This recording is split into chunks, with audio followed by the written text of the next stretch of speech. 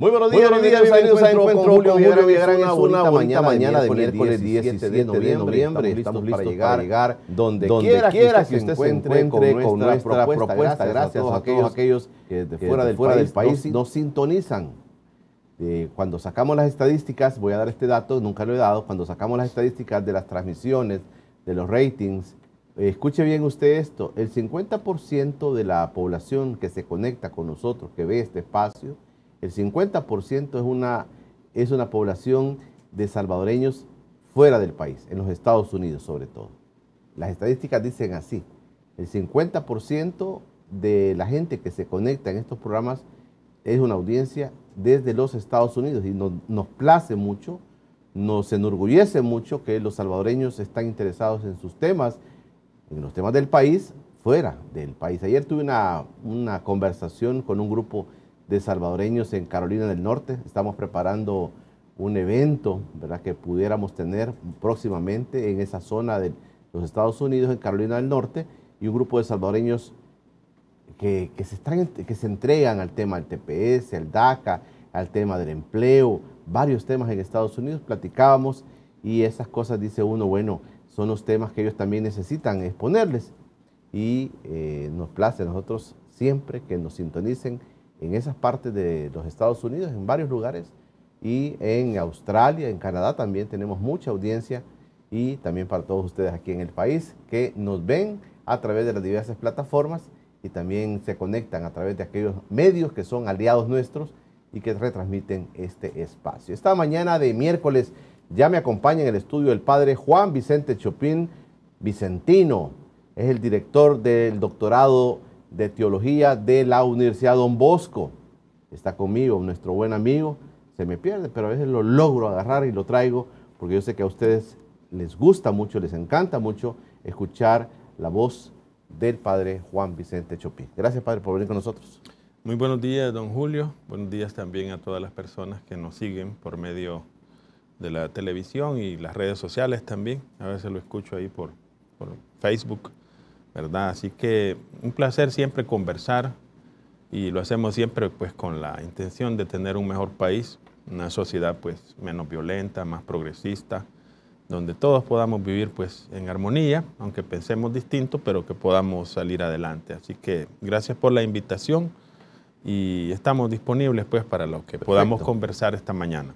Tenemos varios temas de conversación esta mañana, pero vamos a revisar primero las portadas de los periódicos de este día miércoles. ¿Qué dicen los periódicos de nuestro país? El diario Colatino dice, pide nulidad del sobreseimiento de, involucrados en caso jesuita. Este es un tema eh, que ha comenzado a sonar, el gobierno está pidiendo, ¿verdad? Eh, también en caso jesuita que se retome el tema del caso de los jesuitas. Miren la fotografía ya en San Salvador, también las ventas navideñas ya se están colocando las ventas ahí en San Salvador, en el pleno corazón de San Salvador. Ya la gente quiere también salir un poco del estrés y dice, está pensando en las fiestas de fin de año. Vamos a ver qué más dicen los periódicos. El periódico de Casa Presidencial dice, país fabricará píldora anti-COVID-19 de Pfizer. Y ahí está la semana del Bitcoin, promoviendo al Bitcoin. Y hay una semana en el país dedicada a expertos en el Bitcoin. Ahí está la portada del periódico del presidente Bukele. Vamos a ver el diario de hoy, aparte de la adiós a la ilusión, ayer perdió la selección en Panamá y se escapó Qatar 2022, ya no hay mundial para El Salvador, perdieron los muchachos ayer en Panamá. Corte recibe 117 demandas contra Chivo por fraudes. Ya se están recibiendo las demandas por el, el tema del Chivo Wallet Ahí están, ahí está la madera del diario de hoy de esta mañana. El diario El Mundo dice, Fiscalía le pide a la sala reabrir el caso de los jesuitas. La Fiscalía está pidiendo a la sala de los constitucionales reabrir el caso de los jesuitas. Y aparece también la foto de la selecta que perdió ayer. Y la prensa gráfica dice Estados Unidos veta la entrada a Ortega y sus funcionarios. Se conoció que Estados Unidos comunicó que está prohibiendo la entrada del presidente Daniel Ortega, sus funcionarios a los Estados Unidos. no los dejan, no los van a dejar entrar. Así están las maderas de los periódicos de esta mañana de miércoles. Pero quiero presentarles un video que es, viral y que ha, puesto nuevamente un enfrentamiento entre funcionarios de gobierno y la UCA. Esto fue lo que dijo el padre Andreu Oliva, nuestro buen amigo, el padre Andreu Oliva, dijo en la misa que se dio el sábado en conmemoración del martirio de los jesuitas. Vamos a ver qué dijo el padre Oliva y qué ha provocado que funcionarios de gobierno pues comiencen a atacar a la UCA. Vamos a ver qué dijo el padre Andreu Oliva. Lamentablemente tenemos que afirmar con tristeza y con dolor que lo que vemos es mucho deseo de apariencia, deseo de poder y de riquezas, auténtica vanagloria. Vemos que se prefiere la mentira y ocultar la realidad a la verdad. Vemos acciones llenas de bajeza, como difamaciones, falsas acusaciones, tergiversación y violación a la ley, condenas sin fundamento, con el fin de lograr intereses mezquinos. Vemos un afán para destruir a los que ya han sido calificados como enemigos, solamente porque les señalan su falsedad, sus corrupciones, sus injusticias, sus verdaderas intenciones y son una piedra de tropiezo para sus proyectos perversos. Vemos en nuestros gobernantes deseo de dividir más y más a este pueblo, de llenarlo de odio. Y qué lamentable es que aquellos que prometieron gobernar bien y respetar la ley, nos engañaron, engañaron a todo un pueblo para lograr su voto y alcanzar el poder que deseaban. Y una vez en el poder, hacer lo contrario de lo que prometieron. Y qué triste es que no solo estén repitiendo lo mismo de siempre, sino que superen con creces la maldad de los gobiernos anteriores. También ahora se habla en nombre del pueblo y de hacer su voluntad para intereses mezquinos en lugar de para gobernar bueno, están las palabras, duras palabras del padre Andrés Bolívar, rector de la UCA, en la misa del día sábado. Veamos también una, una copia de eh, lo que también ha expuesto el cardenal Gregorio Rosa Chávez al respecto. El diario elsalvador.com lo, lo publicó y dice, en nuestro país no se escucha, se insulta, se ofende y se desprestigia, dice cardenal Rosa Chávez el cardenal José Chávez también reafirmó las palabras que expresó el padre José María Tojeira en una entrevista radial sobre la mentira que según manifestó cometen funcionarios del actual gobierno ante las críticas. Así las cosas, los mensajes que surgen de esta conmemoración del asesinato de los sacerdotes jesuitas el 16 de noviembre, que se celebró eh, ayer, pero que las palabras de la UCA nuevamente vuelven a poner eh, así en la plataforma del país, Padre Chopin, ¿qué piensa la UCA? ¿Qué piensa ese segmento, digamos, de la Iglesia Católica sobre la realidad del país? Bueno, ayer celebramos el 32 aniversario de la masacre de, los jesuitas, que mejor alguno ha precisado, ¿verdad? Eh, que es mejor hablar de la masacre de la UCA porque si se dice de la masacre de los jesuitas, uno lo reduce a los sacerdotes, cuando allí hay dos mujeres. Claro. Entonces es mucho más preciso decir la masacre de la UCA. Pero esta es una distinción pues, que nos ayuda a, ser más, eh, eh, más abiertos y a integrar pues, al sector femenino en ese, en ese asesinato. Eh, lo que ha pasado, lo que está pasando, como, y como prueba de ello, las palabras del rector Olivo es que en una sociedad los distintos poderes eh, se enfrentan. En este caso, el oficialismo, o sea, el gobierno tiene sus propios intereses y los va a llevar adelante hasta donde pueda, ¿verdad? Con toda la maquinaria que tiene. En cambio, las universidades, en este caso la UCA, eh, por su tradición, desde que el padre Ignacio Yacuría pues, le dio un, enfoque específico de promoción de las clases más desposeídas y de un discurso transformador más que todo, eh, se, constituye como un ícono de la defensa pues, de, de los derechos humanos, etc. Y por eso es que nosotros vemos un enfrentamiento, ¿verdad?, actualmente entre el gobierno y, esta institución, no solo con ellos, por supuesto, hay otros sectores. Pero en este caso nos referimos a los, a los jesuitas, ¿verdad? De la UCA y a la institución que ellos representan. Entonces, Olivo lo que está haciendo es este, poniendo de manifiesto cuál es el punto de vista que ellos tienen. Amén, pues, de una serie de situaciones que se han generado y que ha llevado hasta este momento la polémica. En este caso, eh, últimamente pues, han habido acusaciones, incluso el jefe de la bancada ¿verdad? oficialista, pues los acusa de que han movido 40 millones, ¿verdad? Eh, los jesuitas de la UCA, eh, con la ayuda pues, de un expresidente. Es una acusación bastante seria. La UCA ya se ha pronunciado y ha dicho en un pronunciamiento que ellos no tienen nada que esconder.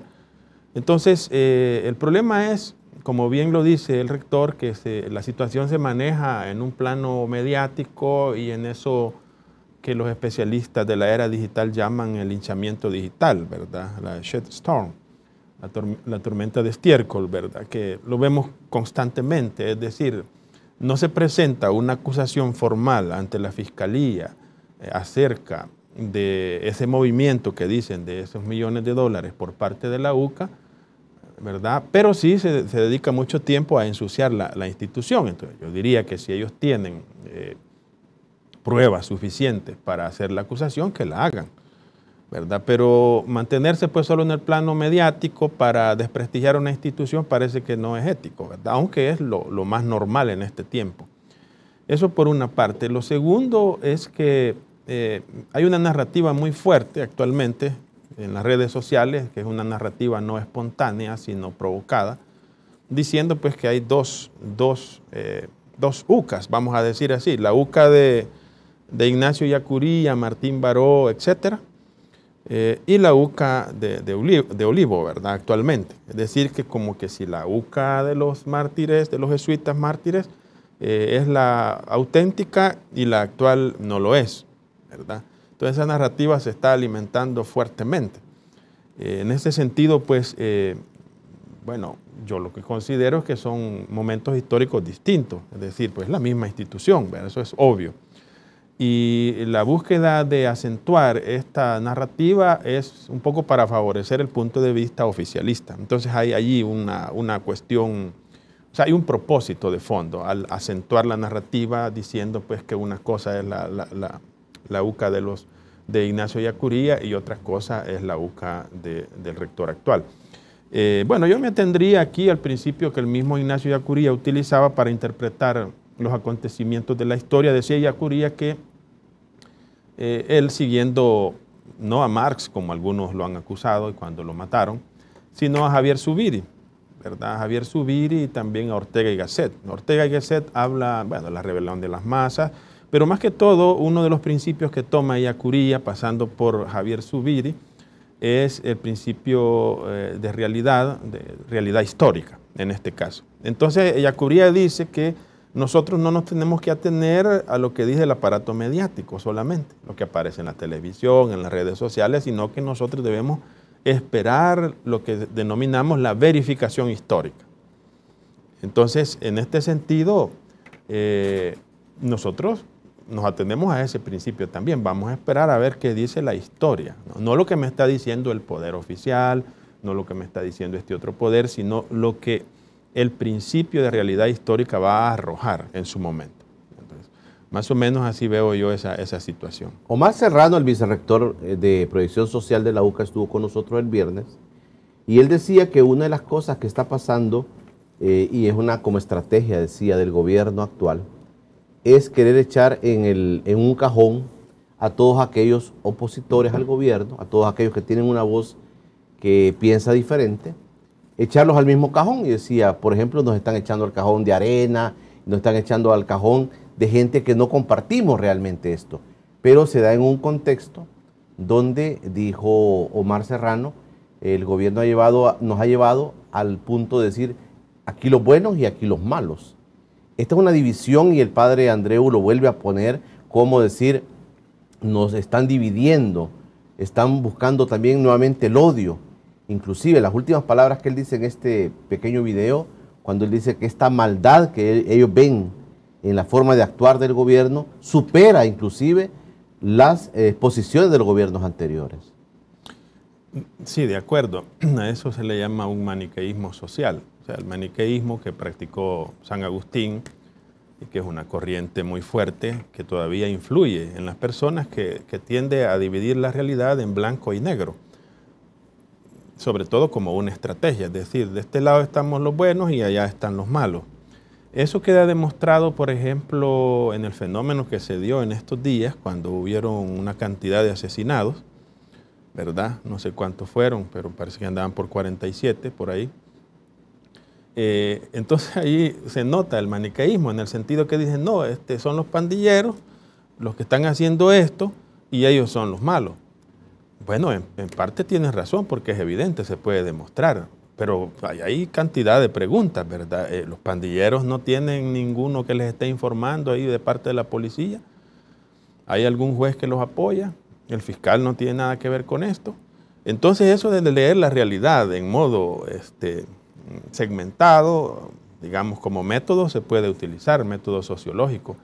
Pero leer la realidad en modo, este, en modo estanco, es decir, que aquí están los buenos y aquí están los malos, eso es maniqueísmo puro, maniqueísmo social, eso no funciona así. Ahora bien, eh, también eh, el rector, a quien yo le tengo mucho aprecio, porque entre universidades tenemos acuerdos, trabajos, ¿verdad?, con distintas universidades, y la UCA pues es, una de ellas, no solo con ellos, tenemos, la Don Bosco tiene relaciones pues con universidades de Estados Unidos, de Europa, de Sudamérica, etcétera. Eh, es que en algún momento, creo que de este año, eh, la Asamblea Legislativa le dio un reconocimiento al padre Olivo, ¿no es cierto? Lo decretaron hijo meritísimo, me parece. Tal vez ahí pues se podría discutir eh, y justamente el tema del manicaísmo aquí este, se aplica de nuevo, es decir, de repente el padre Olivo pudo analizar que quien le estaba dando el reconocimiento, una parte de ellos eran son del partido, eh, que organizó el asesinato de sus hermanos jesuitas, ¿verdad? En ese momento pues se pudo hacer ese, análisis y decir, mejor vamos a esperar un poco, ¿verdad? Que, cambien las condiciones. Entonces eso puede estar ahí en el consciente y se le puede, digamos, el oficialismo le puede echar eso en cara a mi hermano sacerdote rector de la, de la UCA, pero eso, digamos, no, no les faculta al oficialismo, ¿verdad?, para atacar gratuitamente a una persona o a una institución. En todo caso, el, el debate es legítimo, ¿verdad? El padre Olivo ha puesto su punto de vista. Evidentemente, el rector de una institución como la UCA no va a hablar en modo personal. Es decir, ahí está hablando como rector, es decir, como representante de una institución y no solo de la UCA. Hay que tener en cuenta eso, sino de la congregación jesuita, jesuítica, es decir, que no son solo aquí, sino que están en todo el mundo. Entonces, eh, evidentemente, cuando el fiscal me parece que es, Rodolfo Delgado me parece, presenta mm, una solicitud, es decir, que se derogue, me parece que está el sobreseimiento definitivo de los responsables de, la masacre de la UCA. Eh, hay que leerlo bien, ¿verdad? Porque los padres jesuitas deberían analizar, yo creo que ellos lo están haciendo, cuál es el propósito que está de fondo de esa, de esa petición. Sí. Ya, porque no puede ser que sea una cosa así ingenua, ¿verdad? De que en este momento nosotros vamos a, apoyar a la UCA cuando el discurso es, de, es contrario. Entonces hay que analizar hermenéuticamente bien eso.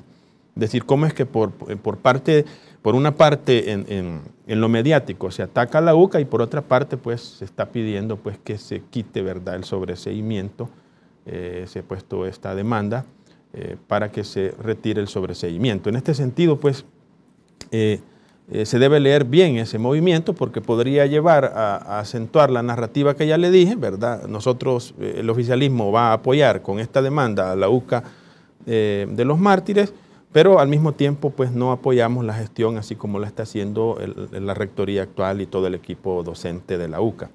O efectivamente se está llevando a cabo un acto de legítima reclamo de la autoría intelectual no solo la material, sino la autoría intelectual del asesinato de los jesuitas. Eso sería, estaría muy bien y entonces hay que apoyarlo.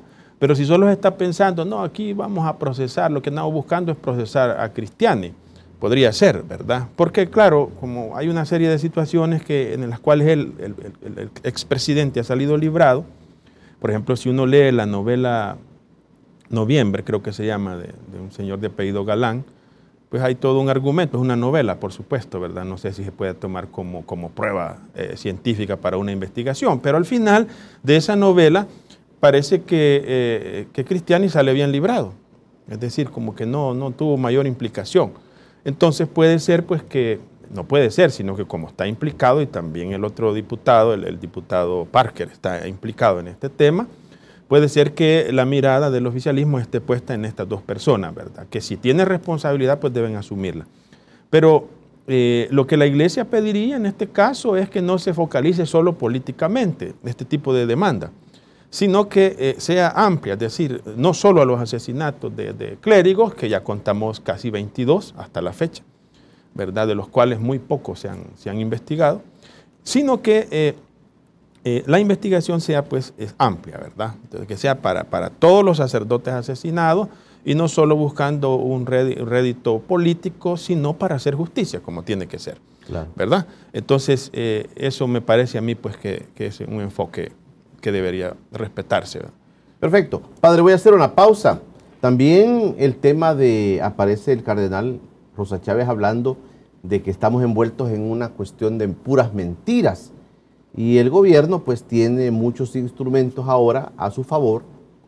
Tiene la fiscalía, tiene la sala constitucional, tiene todo el aparato del Estado prácticamente eh, llevando al unísono algunas cosas. Yo quiero eh, nuevamente tocar en este tema. Usted decía el tema de la, delincuencia que tuvimos eh, la semana pasada. Tres días consecutivos de asesinatos y todo esto. desaparecidos en el país, muchos desaparecidos qué es lo que realmente está pasando. El gobierno llega a decir en su momento, Padre Chopin llega a decir, el presidente de la República, que hay fuerzas oscuras detrás de todo esto. Yo quiero preguntarle esto porque realmente los fenómenos sociales que vive el país, como esto de la delincuencia, son fenómenos bastante profundos, con raíces muy profundas, y ahora el presidente plantea que fuerzas oscuras, ¿verdad? No lo dijo claramente a quién se refería, pero no, lo, no se lo atribuyó necesariamente a las pandillas, sino que a otra gente que puede estar fraguando cosas para afectar al gobierno. El padre Juan Vicente Chopin, Vicentino, me acompaña esta mañana de miércoles y vamos a analizar un poquito esto y también vamos a leer los comentarios que usted está poniendo ya en nuestro WhatsApp. Este paso ha sido por cortesía de Cable Color, el internet de fibra óptica más rápido de todo El Salvador. No nos crea, compruébalo. Cable Color. Ahí aparecemos nosotros en el canal 23 de Cable Color. Hacemos una breve pausa y ya regresamos. Ya regresa Encuentro con Julio Villagrán. Desplazamiento forzado interno en El Salvador. Desintegración familiar. Según cifras oficiales, el 40% de las familias que fueron forzadas a desplazarse internamente sufre desintegración familiar. La ley sobre desplazamiento forzado interno señala que la reunificación familiar es un derecho de las personas que sufren el fenómeno. En Cable Color tu conexión es tuya para hacer lo que quieras para cumplir bien con todos, para probar cosas nuevas y hacer fácil lo que era complicado. Tu conexión es única, pues tú eliges la velocidad que necesitas para crear, celebrar, enviar, sentir, detenerse y vivir.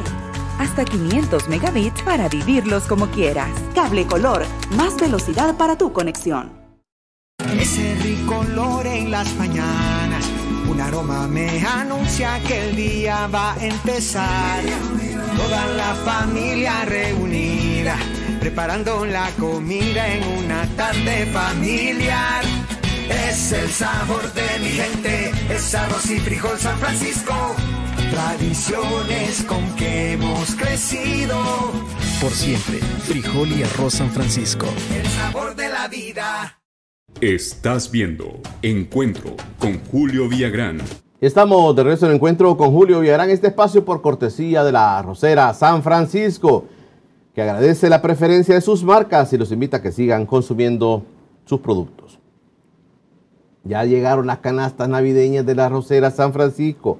Vive la ilusión navideña con Arrocera San Francisco. Recuerda que puedes pedir tus canastas navideñas al 2325 0492 o también al WhatsApp 7841 9081. Ahí puede pedir sus canastas, haga sus pedidos ya de sus canastas. Voy a repetir los teléfonos 2325 0492 y 7841 9081. La Rosera San Francisco ahí les está poniendo para que ustedes hagan sus pedidos.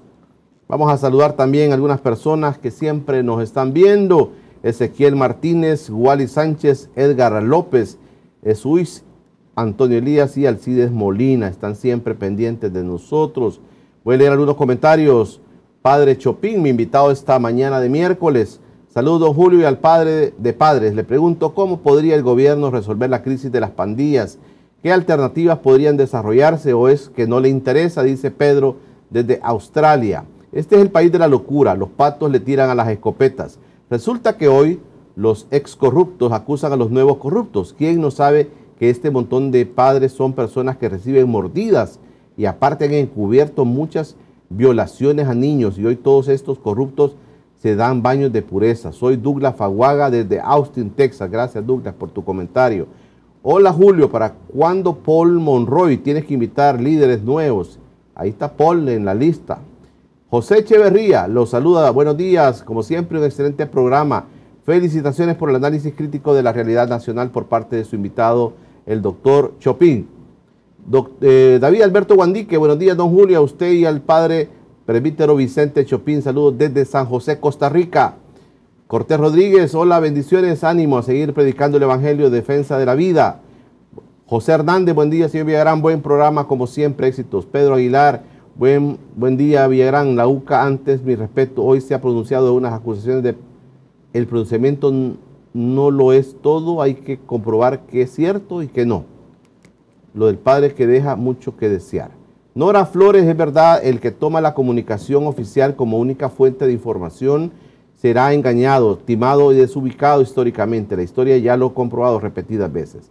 Carlos Escobar dice, pregunta académica legítima. ¿Cuál es el aporte académico práctico fuera de las ideas y creencias de la teología de la ciencia social y dónde se practica? Dice Carlitos Escobar desde Suecia. Buen día Julio y su invitado. Pregúntele qué piensa si hay separación de poderes o no. Gracias. Pero también hay un mensaje, padre, eh, que eh, entiendo que usted sabe de esta situación. Me dicen acá que en San Vicente hay una protesta de los estudiantes que se han tomado el local de la Universidad del Salvador y exigen que se cumpla la promesa de donación que les hizo el gobierno de un terreno. El gobierno actual ya no les quiere cumplir.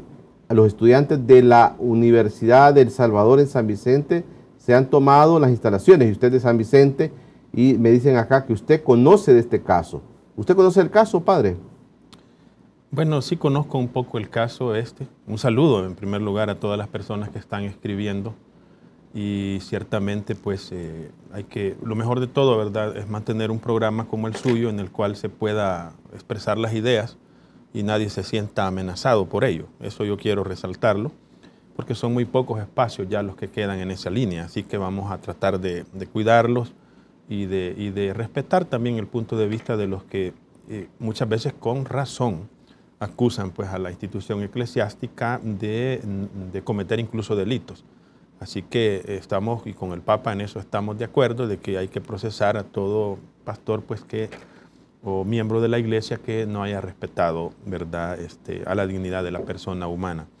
Eh, sí me interesa ese tema, yo conozco un poco porque tenemos trabajos conjuntos, la Fundación Amalia Chopin que yo presido, eh, que se ocupa de, mm, de, promover valores entre niños y jóvenes y adolescentes en la zona de San Vicente, tenemos convenios con la Universidad del Salvador.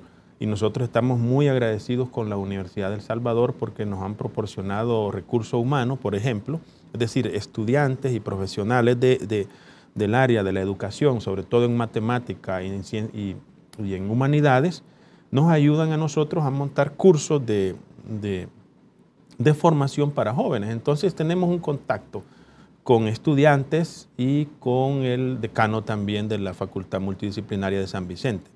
Lo que sucede es que eh, lo que está pasando, bueno, primero que los estudiantes se han tomado el local de la eh, Facultad Multidisciplinaria de San Vicente y el motivo es porque eh, hay una promesa de donación del local de la ESMA que está junto al, local actual de la Facultad Multidisciplinaria, entonces hay un local ahí de la ESMA y Canjura, que era, creo que ando por aquí alguna documentación por si acaso alguien preguntaba, Canjura en el 24 de agosto del 2018 les dice, hay una carta más larga, pero solo leo el final. Canjura, el exministro de Educación. Del exministro de Educación. Eh, instruye al viceministerio de Educación para que apoye técnicamente, eh, con, por medio de la gerencia de infraestructura y la dirección de asesoría jurídica, en virtud de lo anterior, le dice, este ministerio no tiene objeción alguna para llevar a cabo la donación a favor de la mencionada institución. O sea que Canjura sí les dice, le vamos a... Avala, digamos. Pero después este, ya la nueva eh, ministra, ¿verdad?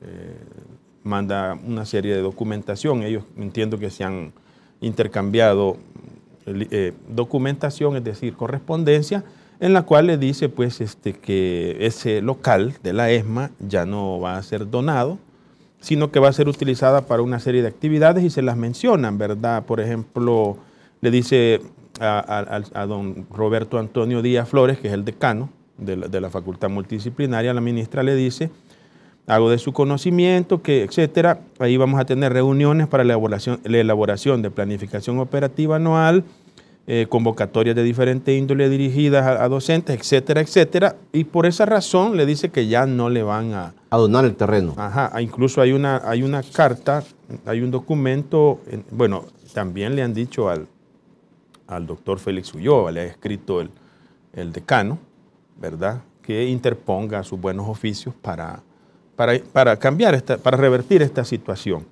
Eh, han expresado aquí... ¿Y para qué se iba a utilizar el terreno según el planteamiento del, decano? Del decano. ¿Para qué se iba a utilizar ahora, originalmente? sí, él, él, ha expresado, ¿verdad? O sea, los estudiantes y el decano han expresado una cantidad de, cuestiones que ellos eh, han... Vamos a ver, permítame, vamos a... Yo tengo aquí alguna documentación que he tenido acceso. O sea que ellos tienen una cantidad de estudiantes, eh, sobrepasan los 1.700, eh, que no caben ya. No sé si lo difícil aquí es que las personas no se hacen idea muchas veces de, lo que está pasando allí en el local. Por ejemplo, es un local pequeño. Es un local pequeño. Eh, en una zona complicada, ¿verdad? Es decir, peligrosa. Y yo esto quisiera decirle, pues, señor presidente, cuando fue al, campus central, la segunda vez que fue al campus central aquí de la UES, hizo 15 propuestas, o sea, 15, no propuestas, sino promesas. Y por lo menos nosotros en San Vicente, si él pudiera escucharnos, le quisiéramos pedir algo al señor presidente. O sea que no lo va a escuchar, pero bien, podría ser que sí. Eh, que nos retire el cuartel que está en el centro de la ciudad, ¿verdad? Porque el cuartel de San Vicente está en el centro de la ciudad y que lo coloque en los terrenos que ellos tienen, en los polígonos de tiro y zonas de diversión que tienen los militares, que es muy amplio. Tienen terreno, pero el cuartel en San Vicente está en el centro. Un cuartel en el centro de una ciudad no es precisamente una edificación cultural. Entonces podría traerse la universidad hacia el centro de la ciudad, o sea, en el local donde está el cuartel, y pasar a los soldados que están armados, ahí pues evidentemente no les van a dañar tan fácilmente, en cambio a los estudiantes sí, porque se supone que no van armados. ¿Verdad? Que, que, traslade la sede de la UES para ahí. Yo sé que eso es complicado entre ministerios, pero creo que no es imposible. Entonces, el, decano, Roberto Antonio, eh, ha manifestado eh, que allí en, la, eh, en ese local, por otra parte, me permito hacer las siguientes consideraciones. Debido al déficit, déficit de espacio, dice el decano, 22 aulas para atender una población de 2.769 estudiantes, dependemos del uso de las aulas del, ESMA. De lo contrario, no podríamos atender a toda la población estudiantil. Dos, dice, durante los últimos años hemos realizado inversiones en la mejora y seguridad de las instalaciones, o sea que ya intervinieron, tales como instalación de fibra óptica para todas las aulas, equipo de aire acondicionado, cambio de baterías sanitarias, cambio de techo, etc. Y tres, la urgencia de iniciar un programa de mantenimiento del sistema eléctrico, cambio de techo de las aulas, etc. O sea que ya intervino la, la UES en, en el edificio. Pero, la, ministra de Educación actual eh, ya no le parece que le van a ceder a, los estudiantes para ocuparlos para espacio para ellos, sino que van a tener sus reuniones ahí. Sí, otras actividades. Otras actividades. Sí, siempre dice vinculadas al tema de la, de ESMA, ¿verdad? Y los estudiantes se han tomado local. Se han tomado local, entiendo que no sé si estarán en algún tipo de negociación, no me he actualizado en ese sentido eh, el, decano estuvo en un canal de televisión ayer, creo, con un estudiante y ya expusieron pues, sus puntos de vista.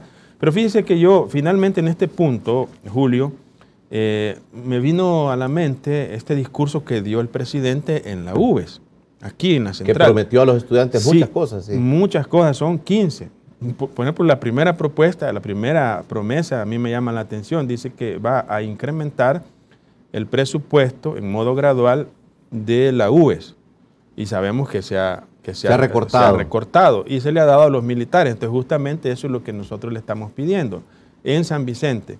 ¿Verdad? Si de verdad él va a cumplir esto, entonces que traslade a los militares a la zona marginal de San Vicente, donde tienen extenso territorio, y que el cuartel se lo dé a la Universidad del Salvador. Recuérdenos qué más dijo el presidente en la UES. Mire, dijo, dos dijo, la, la UES dice, se convertirá en la mejor universidad de Centroamérica. Bueno, a veces en los discursos eh, electorales eh, y de propaganda, pues me imagino que el candidato se emociona, ¿verdad? Pero eso de convertir la, la, Universidad del Salvador en la mejor de Centroamérica no es que usted se, se levante en la mañana y dice, lo vamos a hacer. Esto es un proceso. ¿verdad? Y supone no meses, sino puede llevar años. Y tres, eh, aquí el 3, el 4, el 5, el 6, el 7 y el 8 veo yo que corresponden con las demandas que están haciendo los estudiantes y el decano de la facultad multidisciplinaria. Dice, dice, en el 3 dice, vamos a crear nuevas sedes en La Unión, Aguachapán, Chalatenango. En el 4, remodelar las sedes actuales. Aquí toca porque ahí no están remodelando, sino que les están quitando espacio. Eh, la promesa 5, va a, disponer un presupuesto exclusivo para equipamiento tecnológico en el mantenimiento adecuado de edificios, aulas, talleres, laboratorios, etc. Seis, nuevas carreras, va a crear nuevas carreras y nuevas facultades, lo cual es natural en una universidad. Pero si les quita presupuesto, ¿cómo va a pensar la universidad? Sí, todas estas cosas, este, pues es, que este, es, dinero también, este es un discurso político y es dinero. También dice que va a crear la facultad de artes en, en la propuesta 6. En la 7 dice que va a sustituir mobiliario y equipo obsoleto, ¿verdad? En la UES, eh, lo cual es muy caro, pero igual se puede, pero con un presupuesto adecuado. En el 8, actualizar y modernizar las bibliotecas de la UES, de todas, dice, la central y las regionales. Y dice que las va a abrir de noche. Por ejemplo, en esta parte me, me llamó la atención, no es que esté mal, yo estaría de acuerdo que una biblioteca esté abierta de noche, pero evidentemente no ha ido quizás ahí a la, donde está ubicada la, multidisciplinaria de San Vicente. ¿Y dónde está ubicada exactamente? Eh, está por frente al estadio. Es una zona, el barrio se llama San Juan de Dios, pero la colonia se llama Agua Caliente. Es una zona que ha sido caliente. ¿Ha sido caliente? Sí, desde el punto de vista, ¿verdad? Actualmente ya no tanto, ¿verdad? Por, por la situación actual. Pero ha sido muy difícil. Entonces entrar ahí de noche es muy peligroso. Todo el mundo en San Vicente lo sabe. Nueve, eh, apoyar e impulsar la investigación científica y tecnológica. Diez, crear residencias universitarias. Me llama la atención que cuando él dice esto en el discurso, los estudiantes se emocionan. O sea, la promesa más aplaudida de las 15 es esta 10, crear las residencias universitarias. La promesa 11, incrementar y fortalecer el programa de becas. La promesa 12, fortalecer y equipar la clínica de bienestar magisterial, perdón, universitario. La 13, fondos para pago de pasivo laboral, esto va para los administrativos, y retiro voluntario para administrativos y, y personal docente. La promesa 14, que no sé por qué la metió aquí, ¿verdad? Pero igual es legítima. Nos comprometemos a la no privatización del agua y finalmente la, la, 15, crear el Ministerio de Educación, Ciencia y Tecnología. Bueno, yo lo que diría, y es una petición que hacemos, legítima, pienso yo, es que se pueda llegar a un acuerdo, que se respete eh, la promesa que les hizo Carlos Mauricio Canjura Linares, exministro de Educación, y que se les permita, porque eh, lo mínimo que se puede hacer y que debería hacer la ministra es ir al lugar y verifique el espacio disponible que tiene esa facultad. Es muy restringido, es peligroso y necesitan por la cantidad de estudiantes que son más de 2.000, ¿verdad? Fíjese, Padre Chopin, que a propósito de, de, esto que estamos hablando, que me parece relevante, ¿verdad? Los estudiantes de San Vicente se toman una de las facultades y dicen, nos prometieron este espacio para, para que estemos aquí, para estudiar acá, para que vengan más estudiantes, pero se les está quitando ahora, me parece bastante relevante. Pero también da pie un poco a lo que algunas personas han venido diciendo, que ya la Universidad del Salvador, por ejemplo, en estos casos, para las autoridades quizás no ha sido relevante estos hechos que se están dando, ¿verdad? Digo en el sentido que no hay pronunciamientos sobre estos temas que son importantes y la gente ha venido cuestionando esto. Pero también hay planteamientos de la gente que dice, los aportes que desde la academia, desde las universidades, se puedan estar dando a la realidad del país. Yo les decía aquí a las autoridades de la UES que ellos tienen economistas, tienen abogados, tienen ingenieros, tienen tanta gente. Digo yo, propóngame para que vengan a exponernos cuáles son los aportes que desde la academia se puedan estar dando para los problemas del país, Padre Chopin. Sí, es correcto. Eh, en este sentido, en el contexto del martirio de Ignacio Yacuría, Ignacio Yacuría pensaba la universidad así, no solo, digamos, un oficio de marketing eh, docente, en el sentido de funcionar como una empresa que ciertamente tiene estudiantes, pero va buscando solamente el rédito. No, una universidad, por fuerza, por mor de su, de su misión, necesita recursos eh, y tiene alianzas de distinto modo pero eh, también debe estar orientada a la transformación social, así como lo vio Ignacio Yacuría y como en sus mejores tiempos, en sus mejores días, la Universidad del Salvador así funcionó. El, doctor Carlos Gregorio López Bernal tiene un artículo en, mérito a ello, en el cual él menciona que en cierto modo se ha perdido. Ciertamente hemos visto en algunos eh, contextos y situaciones específicas que las autoridades de la UE se han pronunciado, pero también se nota que hay una especie de estado depresivo, ¿verdad? Este, en el pronunciamiento y la transformación social. Así que eh, este es un caso que está ahí escondido. Probablemente si nosotros no venimos a la televisión y decimos, miren, allá en San Vicente los estudiantes se han tomado eh, la facultad, el edificio de la facultad, eh, no se dan cuenta. Pero eso está ahí, ¿verdad? Claro, como hay una narrativa oficial que esconde todo esto, pero ponemos de manifiesto que ahí hay un problema y que las autoridades de la UES pueden afrontarlo de un modo pues, más, más eficiente. Voy a hacer una pausa, Padre Chopin. Mire, yo le voy a plantear a propósito de este tema de educativo, eh, como digo, que me parece sumamente relevante, le voy a plantear lo siguiente.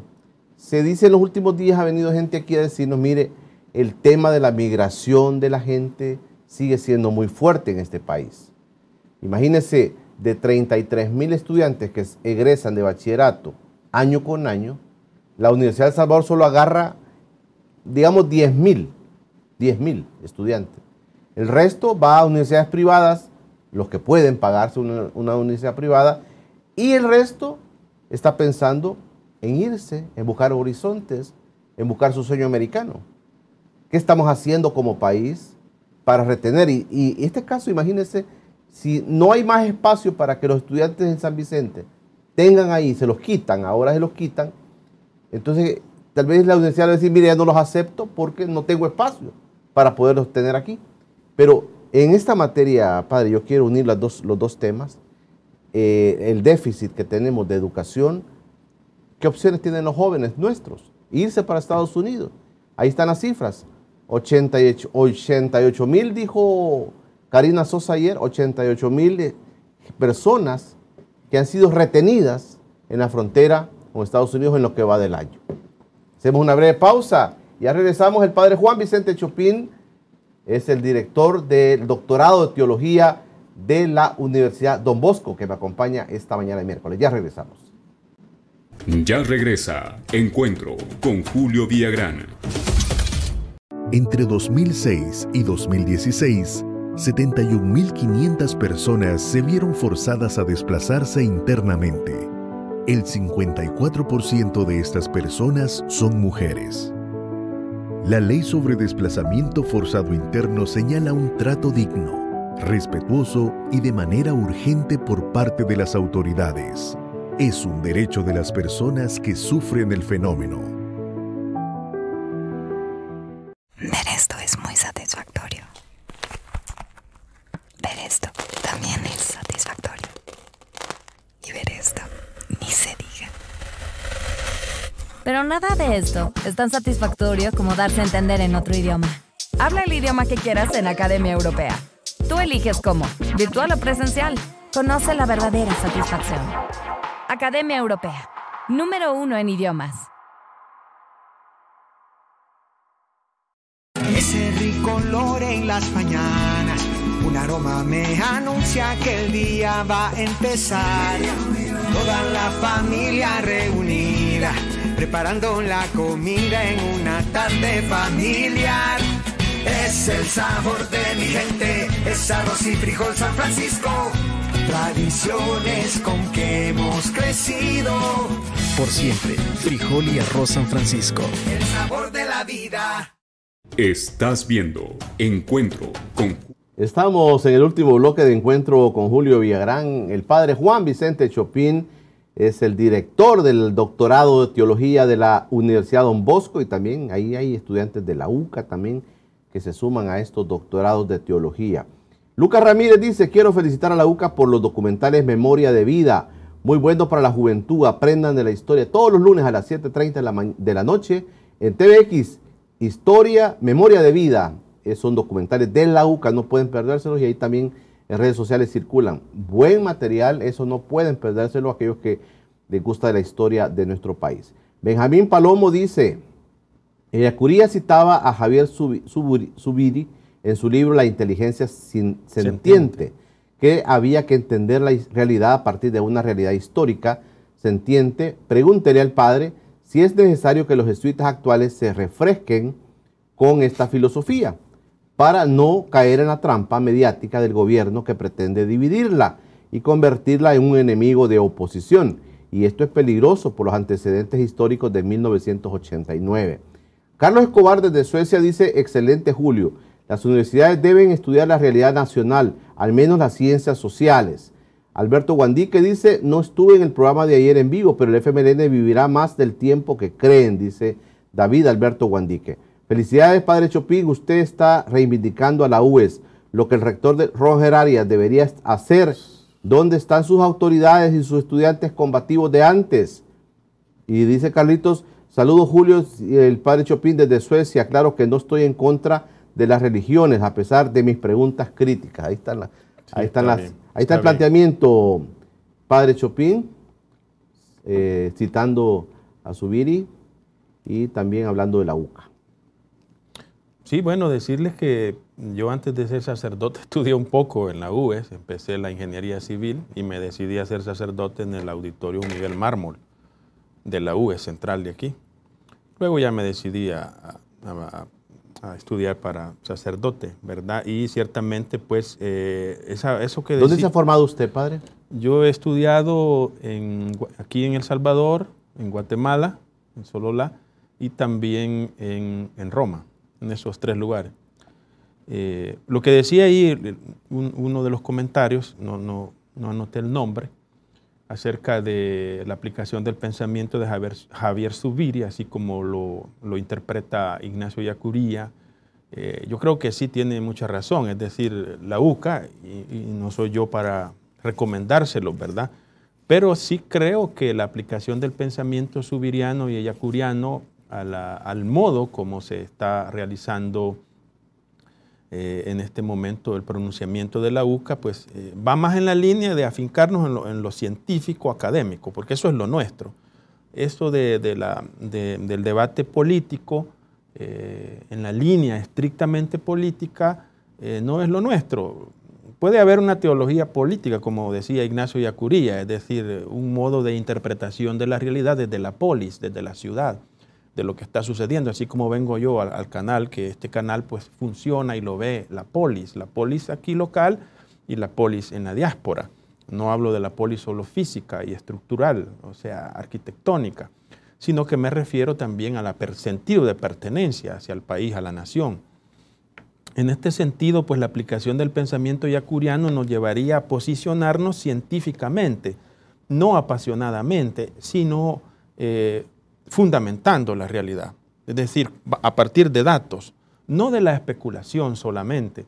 Eh, sin renunciar a las distintas opiniones, eh, como científicos nosotros debemos presentar pruebas, demostración, un proceso de demostración. En este sentido, como dice usted, Todas las universidades, incluida la UCA, pues la Don Bosco y la UES, y todas estamos llamados a ello, ¿verdad? No a caer en la pasión, sino a eh, fundamentar lo que se está diciendo.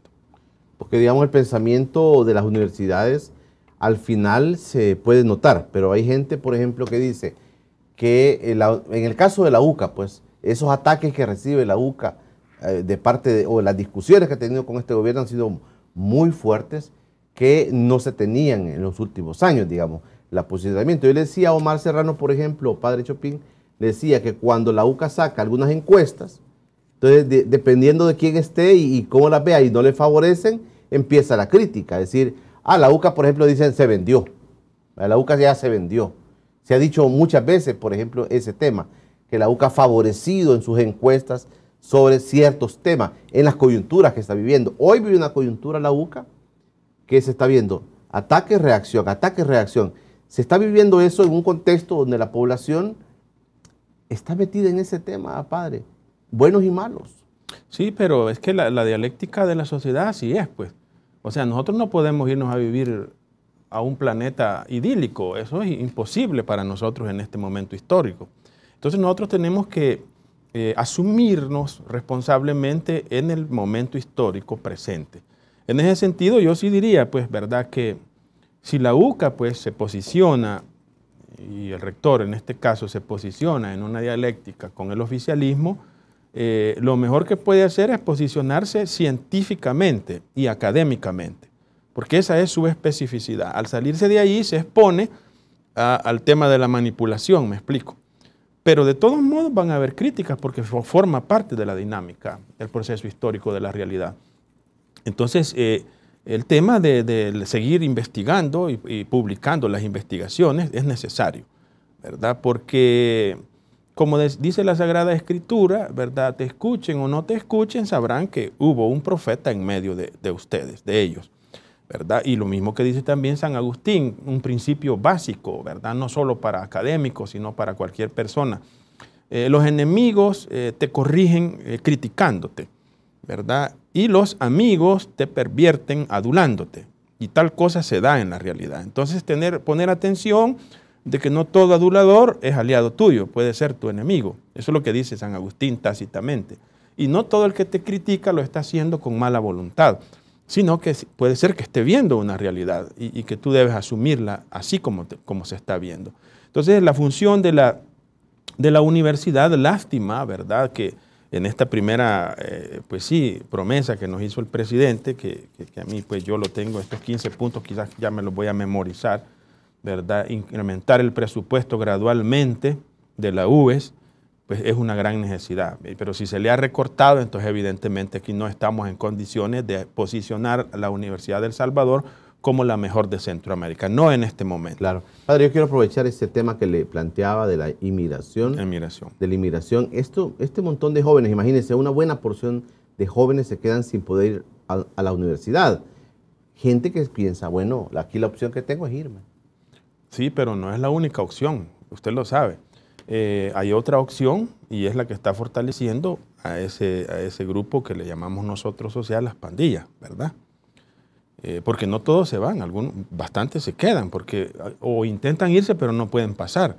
Entonces, eh, aquí hay un problema social grave, ¿verdad? Mientras el discurso político, no solo de este gobierno, sino de todos los gobiernos que se han sucedido hasta la fecha, porque eso es demostrable hasta la fecha, y yo lo voy a repetir todas las veces que sea necesario, ni la derecha hizo la revolución industrial, que tiene los medios de producción para hacerlo, ni la izquierda hizo la revolución cultural, que tuvo 10 años para hacerlo, o por lo menos iniciarlo, ni actualmente se está viendo ese proceso. Cuando decimos revolución nos referimos no, no a un barniz acerca de la educación y de la investigación científica, sino a la toma de decisión, no solo al, verbo hablado y dicho, ¿verdad? Yo voy a mandar un satélite, no, al, hecho concreto, real, como diría esta, este, Yacuría, hasta que veamos nosotros que la UBES es la mejor universidad de Centroamérica, entonces vamos a creer, no cuando nos insista una y otra vez verbalmente de que lo va a hacer, de que lo va a hacer,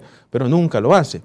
Entonces, uno de los factores, y, y es una opción para los jóvenes y una opción que está siendo muy utilizada actualmente, es irse del país porque hay jóvenes muy inteligentes, bueno, todos somos inteligentes, pero hay unos sobresalientes. Y esos en el primer mundo tienen éxito. ¿Caben? Sí, sí, sí, porque el primer mundo, en este sentido, pues, aunque es depredador eh, este, eh, en el sentido capitalista liberal, pero al mismo tiempo hay que reconocerlo, da oportunidades. Es decir, hay una meritocracia y es decir, usted, si usted destaca, entonces usted avanza. ¿verdad? Claro que va a pagar impuestos, etcétera, pero lo va a lograr. En ese sentido, pues, este, así como estamos viendo las estadísticas, y sobre todo con el año de la pandemia y su, continuación en este 2021, y así como vemos las estadísticas, que cuántos estudiantes egresan del bachillerato y cuántos entran a la universidad, que anda aproximadamente por el 5%, no, no vamos a lograr estos objetivos. O sea, esto va a quedar como un discurso demagógico, porque no es la palabra la que transforma la realidad, sino que son los hechos ordenados racionalmente en el tiempo y en el espacio, según unos objetivos, ¿verdad? Según unas metas a cumplir. Entonces, eh, una cantidad de los jóvenes se está yendo también. El, presidente utiliza la expresión fuerzas oscuras, que es una contradicción in terminis, se dice en latín. Si tú dices fuerzas oscuras siendo el presidente de la República y no defines quiénes son esas fuerzas oscuras, entonces tú eres tan oscuro como lo que estás criticando. ¿verdad? Porque si fuerza oscura, pensar miles de cosas, qué cosa es eso de fuerza oscura. Entonces, esas fuerzas oscuras se están fortaleciendo si no le apostamos a la educación. Y esa apuesta no es eh, eh, eh, este, decorativa, sino que es en profundidad. Es decir, que miles de millones tienen que invertirse allí en un modo inteligente. Ahí tienen a China, ahí tienen a Estados Unidos, a Europa, etcétera. Tienen modelos. Eso no, no puede decir que no tienen modelos. Sí los tienen. Y en este caso, pues, eh, de, la deriva de los jóvenes al mundo de las pandillas, pues es un problema serio. Porque las pandillas a un joven, a un adolescente, le, generan las condiciones para que él pueda sentirse seguro. O sea que hay gente que no analiza el fenómeno desde su mismidad, sino desde los efectos que produce. Pero eso tiene una lógica interna lo que se le llama pues, un subsistema en el sistema, es decir, las pandillas como, las mafias son un, subsistema en el sistema. Cuando ese subsistema determina al sistema, deja de ser un subsistema y se convierte en el aparato dominante.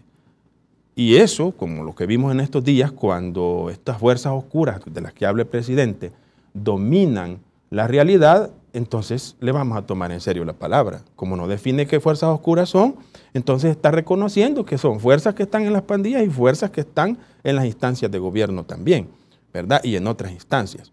En ese sentido, pues hay que manejar esto con mucha, con mucha precisión y con mucha agudeza, porque no es así simple como iniciamos en la entrevista diciendo que la realidad se divide maniqueamente. Aquí estamos los buenos y allá están los malos. Eso no funciona así en la realidad, eso está mezclado.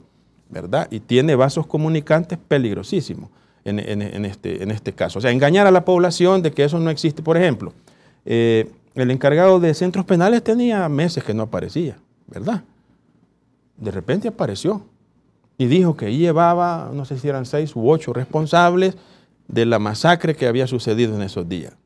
Pero solo una persona este, con falta de juicio vas a aceptar eso. Es decir, tú, tú crees que esos ocho, pueden ser esos los sicarios, ¿verdad? Los que dispararon, pero los responsables son otros. Y la complejidad de la responsabilidad no está solo en esa fuerza oscura, sino en una, eh, en una composición compleja de la realidad. donde hay gente implicada que está también, no en esas fuerzas oscuras, sino en estructuras incluso del Estado. El tema de las fuerzas oscuras, según el presidente lo, deja entrever, o sea, mete esa polémica, digamos, que pueden ser los mismos de siempre que él ha, mencionado desde que inició su gestión. Pero alguna gente dice, pero el presidente no se refiere a las pandillas como las fuerzas oscuras que pueden estar detrás de todo esto, o sea, que están dominando, padre, y aquí hemos he tenido personas analizando la realidad de las pandillas, por ejemplo, diciendo, dije, dice Catalino Miranda, que el 85% del transporte colectivo lo controlan las pandillas. ¿Cuánto? El 85%. También ha dicho el alcalde de San José Guayabal en este, en este espacio, ha dicho que hay eh, municipios, hay eh, lugares, dijo, mencionó la campanera, por ejemplo, que dijo que es gobernada por las pandillas. Y dijo, y hay otros lugares, dijo, en el país, que no lo voy a mencionar, pero que son gobernados por las pandillas. Pero el presidente no se refiere a esas fuerzas oscuras, aparentemente. Sí, por eso. Es decir, cuando él utiliza la frase fuerzas oscuras, él está aceptando. Claro que él, en, el discurso mediático del consciente dominante, lo que quiere dar a entender que no es él el responsable, ni su gente, sino que son otras fuerzas oscuras. Pero como es oscuro el argumento de él, cuando dice fuerzas oscuras y no dice quiénes son, entonces nosotros asumimos racionalmente de que esas fuerzas oscuras no están solo en el sector de las pandillas, sino que está distribuido, ¿verdad?, en todo el tejido social salvadoreño. Y volviendo al argumento del, que estábamos tratando, yo diría pues que yo invitaría, ¿verdad?, al presidente, pues yo creo que está en la capacidad de hacerlo, tiene la, mayoría en el, Parlamento, eh, que, incremente ese y fortalezca ese programa de becas del, que está hablando. Ya reparte computadoras, ¿verdad?, eh, a, estudiantes, bastantes ha repartido, puede incrementar las becas, puede crear las residencias universitarias de las que está hablando, que serían más seguras, en principio, ¿verdad?, más seguras eh, y, poner en práctica estos 15 puntos que él, que él ha manifestado. O sea, tiene, tiene las condiciones, ¿verdad?, eh, para hacerlo y esperemos pues que lo haga. Si no, pues la, historia, la realidad histórica se lo, va, se lo va a tirar en cara cuando llegue su momento. Le, voy a plantear lo último. Esto daría para otro programa, pero nada más se lo voy a plantear para conocer un poquito. La agenda del gobierno, la agenda que tiene el presidente es la agenda del pueblo es la, gente de la, gente, es la agenda de la gente, es lo que el país está pidiendo. ¿Qué usted ve? Eh, no, es, lo, que le, lo que le están pidiendo sus simpatizantes. Y el simpatizante se mueve mucho por la emoción. Entonces, eh, cuando se emociona, pues tiene un apoyo fuerte. Son los votantes, Pero la población salvadoreña son más que los votantes. Somos más que los votantes. Eh, y una área pues que es muy difícil de asumir, yo lo entiendo, es el área científica, es decir, eh, el mundo académico normalmente los que estrictamente no, nos regimos por el método científico, no estamos a, sentimientos, me explico, sino que tú investigas y lo que te arroja la investigación, eso es. Entonces, cuando él, ¿verdad? Como es un político, no, no se va a regir por el principio científico, evidentemente sino que se va a regir por el sentimiento popular. Entonces, el sentimiento popular, que es un deseo, una esperanza de transformación, de mejora, eso siempre hay que mantenerlo. Es decir, el pueblo no es que se equivoque cuando vota, sino que lo hace con autenticidad. ¿Cómo ese voto es manejado por el líder posicionado en el poder? Eso es otra cosa. Son cosas distintas, pero relacionadas en el tema del posicionamiento en el poder. En ese sentido, eh, aquí está, si yo, yo aquí tiene 15 puntos. Este, vaya, yo como científico, porque me voy a mantener en ese punto, el, presidente de la República hace 15, 15 este, planteamientos, digamos. Sí, no, 15 promesas. Promesas a los estudiantes. Aquí hay 15 promesas. ¿Qué haría un científico? ¿O qué haría yo? 15, ¿verdad? Distribuyo el valor de 10, que es la nota que se da en El Salvador aquí. No es cierto, son 10 puntos. En Guatemala son 100 puntos. Eh, en Roma son 100 puntos. Aquí es 10. Bueno, miren, aquí tengo 15 puntos. Distribuyo 10 entre 15 y lo pondero cada. Pero yo puedo hacer otra cosa con estos 15 puntos. Digo yo, ah, no, pero es que como aquí dice el número uno, aumentar el presupuesto, no lo doy prorrateado. ¿Comprende? Sino que a este le adjudico dos puntos de los 10. Y al otro que me dice, ¿verdad? Como este del 14 dice que, promete que, que, no se va a privatizar el agua, digo yo, este no toca aquí lo saco, le pongo unas. Entonces así voy y yo lo evalúo. Si, si no me cumple, si me cumple, 7.5. 7 puntos que no te tiene el presidente, tiene 5. Pero si solo me cumple 3 de estos, ¿cuántos va a tener? No pasa la materia. Entonces así se procede en toda la realidad. Ahorita no pasa la materia. No, en este momento no la pasa. Queda aplazado. No, no pero, pero eh, hay que, como docente yo le daría la oportunidad de que intente hacer realidad estos 15 puntos. No lo voy a, a aplazar así a la primera, ¿verdad? Lo haber diferido otro examen. no. otra oportunidad de otro examen. Sí, sí, hay que dar oportunidad. Entonces, lo, que decimos, ¿verdad? Pero es, que, de alguna manera, sí es un poco de broma ahorita, pero de alguna manera eh, dibuja un poco la evaluación que científicamente se puede hacer del gobierno. Ya van dos años y medio y en muchos temas la calificación pudiera ser deficiente. Sí, bueno, él, tiene que intentarlo porque le falta poco ya para terminar la gestión. Probablemente, así como veo las cosas, se va a hacer un intento de, darle continuidad. E, es, lógico, en, el ejercicio del poder, el poder tiende a consolidarse, no a disminuir. O sea, quien está en el poder no está pensando en renunciar a él. Bueno, ahí tenemos Nicaragua, pues, ¿verdad? Eh, entonces lo que va a suceder es que va a intentar tener otro periodo de cinco años. Si no él, otra persona cercana a él para seguir esto, ¿verdad? Pero eh, eh, tenemos nosotros suficientes elementos, ¿verdad?, para evaluar esta situación y no dejarse llevar solo por el sentimiento. A eso me refiero yo. Sí, vota la gente a veces con el sentimiento, es la esperanza que puede, pero al final, ahora, de manera muy práctica, tiene que decir sí, se ha cumplido o no se ha cumplido. Sí, mire, por ejemplo. Le pasa siempre al pueblo. Vaya, volvamos a esos días en que mataron tanta gente. Este, uno puede pensar tantas cosas, fuerzas oscuras, pandillas, etcétera, etcétera. Pero uno puede poner unos puntos de evaluación. Y dice, punto número uno, ¿por qué no se da la extradición de este señor que le dicen el Blue? ¿Por qué? ¿Qué lo impide? ¿Qué es lo que sabe este señor? Que si se va para Estados Unidos, los gringos le van a ofrecer algo allí para que él hable. Para que cante. Ajá porque también es, permitido dentro de las leyes, ¿verdad? Que, un, líder de, una estructura criminal se le pueda reducir la pena, se le pueda poner, un, qué sé yo, luz, ¿verdad? Que pueda salir a caminar, son negocios, ¿verdad? Es legítimo, si está en el marco de la ley. Entonces, esa es la primera evaluación. ¿Por qué no se eh, extradita a este señor?